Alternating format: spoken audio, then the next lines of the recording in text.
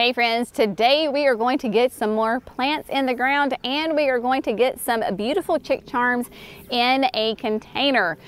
Here we are obviously in the backyard and I've got Johnny here with all of my supplies. So I thought before we delved into these two um, projects, we could just kind of get an overview of what we're gonna do today.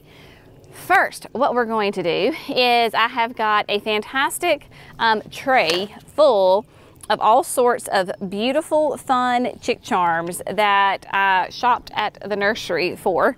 Um, if you've watched our garden, um, like our nursery tours, you know that uh, last week we got in a whole beautiful shipment of these sempervivums. These are chick charms, and chick charms is a whole beautiful line of these sempervivums that come in the most glorious different colors and sizes and shapes.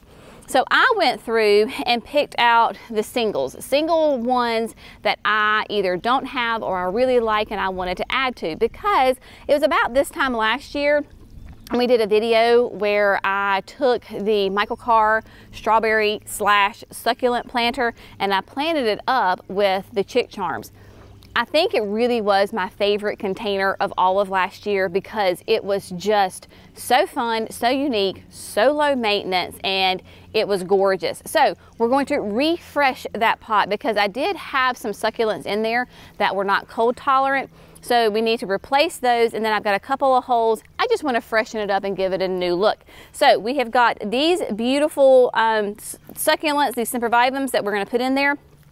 If it says that they are chick charms, then they are cold tolerant from zones three to eight. As a 7B, it is perfect for me. Full sun, lots of beautiful color. So we're gonna talk about that and I'm gonna show you all the fun things and I'm going to show you how to take off any little chicks if you need to and then add them to other places because got a little tip for you on that one as well. Then the next project we are going to do is we are going to get this beautiful, this is the Sunsatia Coconut um, Improved Nemesia from Proven Winners.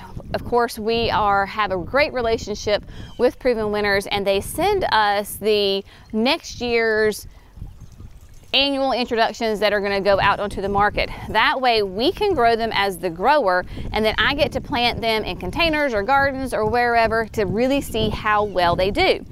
Right now you can see this coconut Nemesia is doing fantastic. Now this is an improved over the other Nemesia, the coconut that they had before. I'll put up all the improvements on the screen for you so you can kind of compare um, how they're doing. So we have a section right along the pathway around the yin and yang viburnum that we're going to put those into the ground.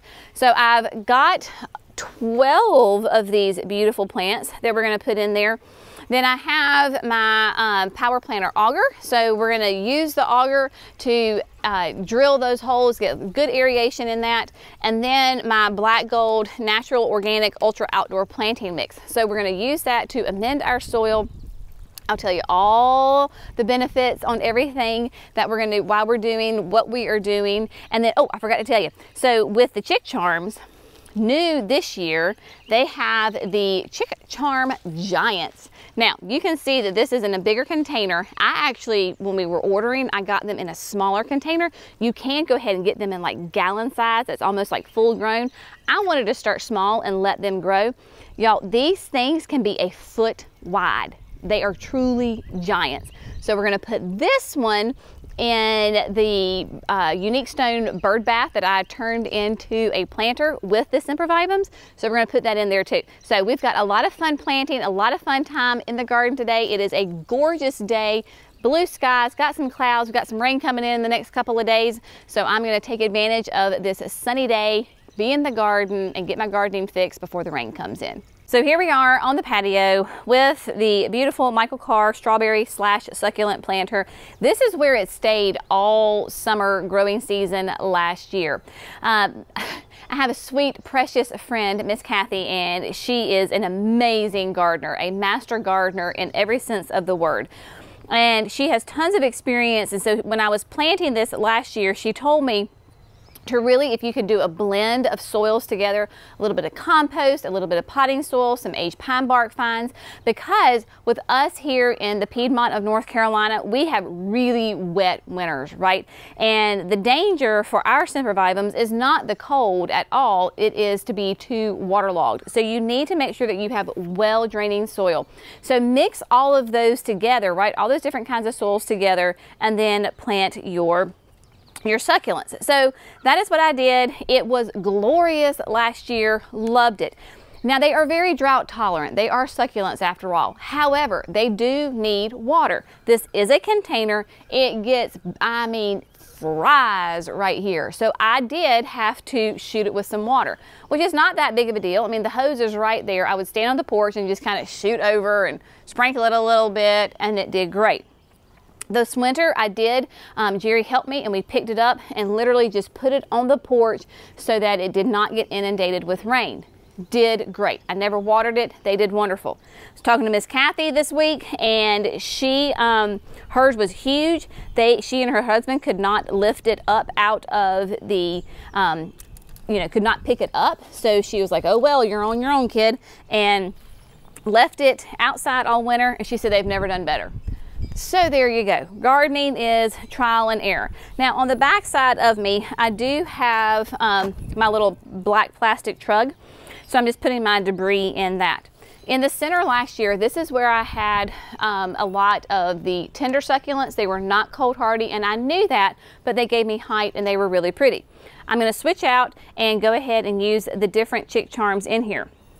Now you can see on some of my holes, they're really nice and full and they're doing great. But then over here, evidently my hen passed away and so it is gone. So I want to refresh that. I'm just getting in there, y'all, and I don't have a huge ton of experience, so I can't tell you you got to do it exactly this way. I have learned that gardening really just does the best when you can just get in there and just do it. I've got my hori hori, but I need to get this out so I can actually raise it up and so I can replace um, those little chickies and where that hen was. Now, succulents are extremely tough. So we're just kind of, I'm pushing from the inside and pulling with the hori hori and I'm gonna make a mess. You know, it's not gardening until you get dirty. So I'm just gonna push it out. There we go. So I have this nice little hole section right here and you can see where like that was where the hen was and she passed away and so we're going to actually pull these apart and I may actually just even go ahead and pull these apart and put them in my bird bath and then put something new here. I think that's what I'm going to do. That was a game time decision right there y'all. Um, but I am going to go ahead and knock off any extra soil in here because the bird bath doesn't have a whole lot of room as far as like, the, I can't put this whole big wad in there. So anyway, you see beautiful, healthy roots right there. Happy, happy, happy girls. And so I have my little container right here. So this is where um, those are gonna go for the bird bath. So all around the edges, everybody else is looking great. Everybody else is doing good. I don't have any holes in there. So I'm just gonna backfill just a little bit because that those chicks had started to sink down a little bit and now I get to have fun and decide which one I am going to do. Now I have two that look very much, they're the green with the red tips on this end. So let's go, and then I have something with some burgundy. So let's go completely different and let's go with this sweet one, which is that's the great thing because everybody comes with tags. This is Gold Rush, and Gold Rush is a beautiful um, kind of that red maroon with those yellow tips on it. Um, just a, a really fun, different kind of color. And you can see I've got some babies coming off. So we're gonna plop that one in there. And then I think I will go ahead and do, um, this is where the creativity comes in. This is the fun part. Let's see. Oh, oh, oh, let's do, oh, this one's fun. This is, I like this one. This is Sugar Shimmer. Don't you love that name? So we have Sugar Shimmer right here, which does have a lovely green. There are some little bit of a red tips to it, but it does have a shimmer look to it. Now, I would like to go ahead and take some of these babies off so that I can use them in my bird bath. And so this is a great way to um, kind of get the most bang for your buck because if you have really happy sempervivums, then they're going to produ produce chicks like crazy. So here we do. We've got, right, so this would be like the hen, and then these are the, all the little chicks all around it. Well, this is a nice sized chick right here. So I have my nice snips. I'm gonna find right here where I have, where it connects. Hopefully everybody's being cooperative here. And I can take my snips come in. Give me one second here. It's real live gardening, y'all. And I snap it. Okay. So what I just did is I snipped off the little chick, right? And then that was my stem. What you're gonna do is let these sit and cure in the shade outside for a couple of days we want this to harden off. And so what's gonna happen is these little hairs on the stem are actually gonna start to produce some roots. So if you want to take your chicks off, snip them off. If you can get as much stem as you can, that would be great. But I've also gotten them where they were just at the base because that's how you could get them off. We're gonna put them in my little container and I'm gonna set them up on the porch in the shade for a couple of days. They'll harden off, cure on the end, and then you can just plug them in to wherever you need to. They'll grow, and then that becomes the hen, and later on they produce chicks. So that's a great way to, you know, like I said, most bang for your buck. That's the beautiful thing about sempervivums. And also you can share them because after a couple of years, these things are gonna take off and you're gonna have tons and you will be able to share them with your friends. So what I'm gonna do is have fun selecting which ones are gonna go here on the sides and up on the top. So at this point, I'm gonna plant it just like I would an annual, take it off.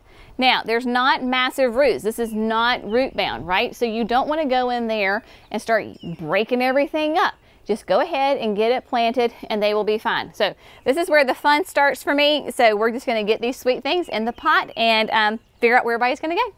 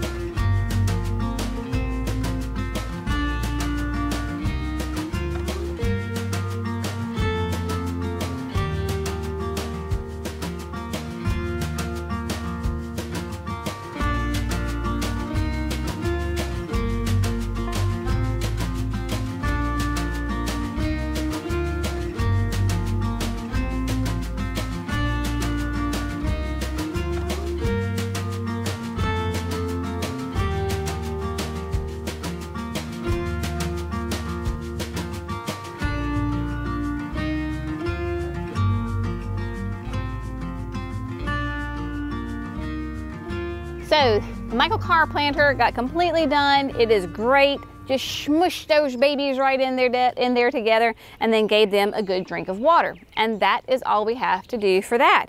Um, it'll be fun to watch that one grow and develop. Of course, I'll keep you updated. Now, here we are at the bird bath. This is the Florentine bird bath from Unique Stone. I had gotten it a couple of years ago and for whatever reason, this one um, had a small crack in it. So it wasn't working really well as a bird bath because it was leaking water and it wouldn't hold the water. Well, of course, you know, you just pivot, right? You go do something different. So I turned it into this beautiful succulent container right here in the middle. I mean, it's just all right here together. Gives me some height here, um, and it is beautiful. All of these sempervivums were chicks that I took off of my plants from last year, and they are growing and developing and doing really well. My mom gave me two different kinds of agaves to put in the middle last year and we were very unsure of their hardiness. We did not know um, if they would survive the winter or not. One looks like it is surviving and the other one did not. So I'm using my Hori Hori to come in here um, because it has that serrated edge and I can come in and literally kind of just like cut out um, where this agave is we're gonna create a hole so that I can put the giant in here. Sometimes a little easier said than done, trying to figure out where those roots go because I don't want to disturb everybody else. Here we go. All right, out. So then, it's the great thing about the Hori Hori is you can use it to cut, chop, slice, dice, dig out, and I'm gonna take out my hole because the Giant has a really decent size um, container and it has all that good potting soil in there. So I need to make some room for her to go. Now, if you're looking at doing this with a bird bath that you have, I do have rocks in the bottom. This is not a fast draining. It's not like as soon as you put it in, it just whoosh, immediately goes out. Um, so it does retain water for a little bit of time. Remember I told you that the sempervivums do not like to be wet and soggy. That's why I put some little pea-sized gravel in the bottom. Then I did the same thing, did a mixture. There we go.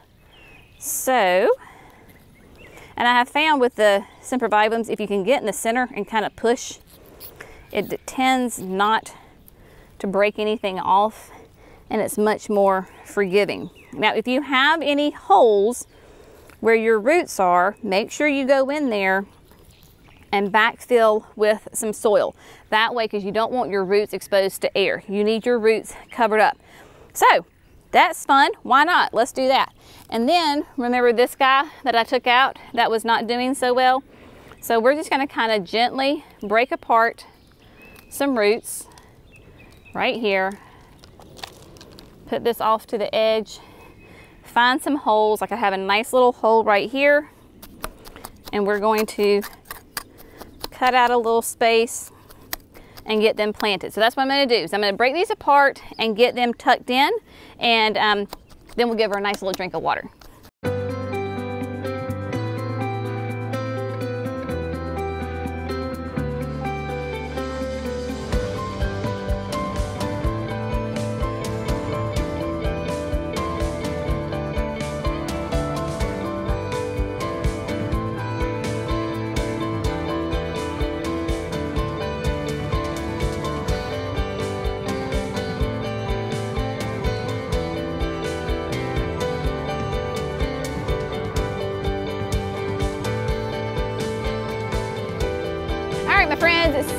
We go. Um, what Jerry and I did is Jerry raked back the mulch for me because we do have an irrigation line in here. We have electrical, but thank goodness the lighting goes straight back and he exposed the irrigation line for me so that we're not having to do an irrigation repair.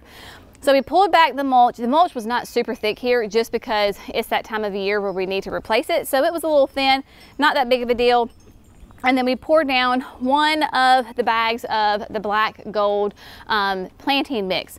So what I'm gonna do is I have my power planter auger drill. This is the five inch heavy duty tip. With our clay soil, I need the heavy duty tip. And I'm gonna come through here and there are 12 plants. This five inch is perfect for grande size containers, um, like a quart size container. It is wonderful. And I'm gonna go ahead and just kind of put in my 12 holes for my Nemesia. Then I can come back and plant them.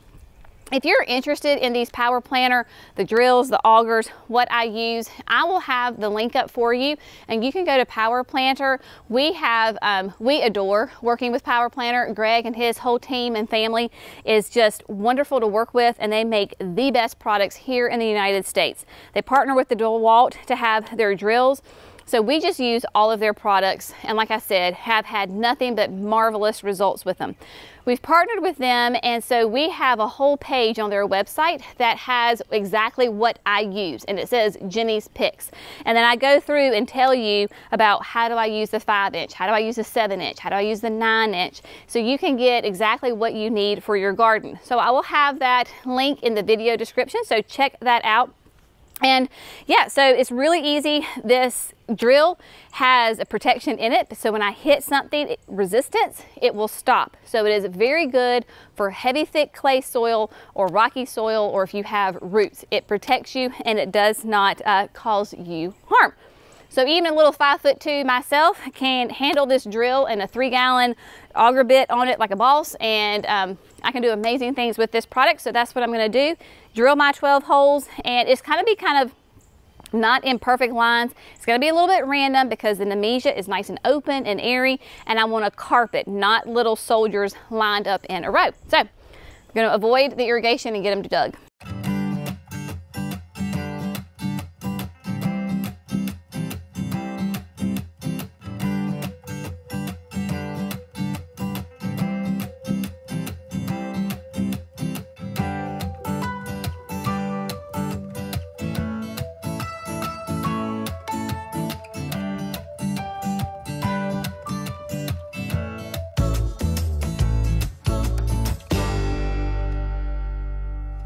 12 of the sweet uh, Nemesias are in the ground.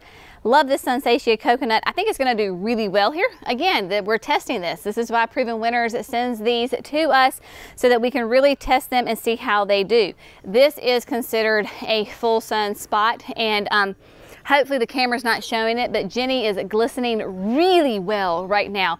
Um, it is quite warm and these sweet things are gonna, they're gonna take it and they're gonna take the heat. So I will let you know how they do throughout the growing season. By using the Ultra Outdoor um, planting mix, it really does a great job of amending the soil. We do have really thick red clay soil and by putting it down first and then use, using my auger, it mixes in the, you know, the soil amendment with my native soil. So it all comes together and does really nicely. Then you saw Jerry come through and do a little bit of the top dress with it. This space right here is an annual bedding space. So that is what we use and that's why we're amending it so well. Now, of course, you can use that ultra outdoor planting mix in anything where you're planting a shrub or you're a perennial. It's a great way just to amend the soil because the happier and healthier your soil is, the happier and healthier your plants are. Um, they're just kind of randomly placed through here. The irrigation line, of course, is snaking through there. We've not had irrigation on since sometime last summer. Winters, early springs are notoriously wet here in North Carolina, and we haven't had any rain for a week, but this soil was really damp. I am not gonna water them in because also it's damp, and then we're expecting two days of like heavy rain. So they're gonna be just fine. I do not need to water them in. Um, remember, when you have plants in the landscape, you really have to water less often than when you have them in a container because they have more soil available to them and can soak up all that good um, moisture. So putting the coconut Nemesia here, it pairs really well with my um, candy tuft in the back, the campfire marshmallow bidens that are right here in the urns. It all blends together quite nicely. The alyssum that's behind me, the snow princess, tying in all of those colors and plants. And then in the patio here really soon, probably in the next week or so, I'm gonna add the Super Supertunia Mini Vista White to my flower beds. So all of that white will come together and really pop. So that is fun, have them in the ground. And then of course, my chick charms in the containers and in the bird bath. Everybody is very happy. So we've got a full day ahead of us. So I think I'm going to go have a water break. I think I might have put the first pair of shorts for 2023 on because y'all, it is toasty out here. Um, But as always, we hope you have enjoyed it, learned something new, found something that you can apply to your garden. And as always, thanks so much for gardening with Creekside. Y'all have a fantastic day, and we'll see you in the next video. Bye, friends.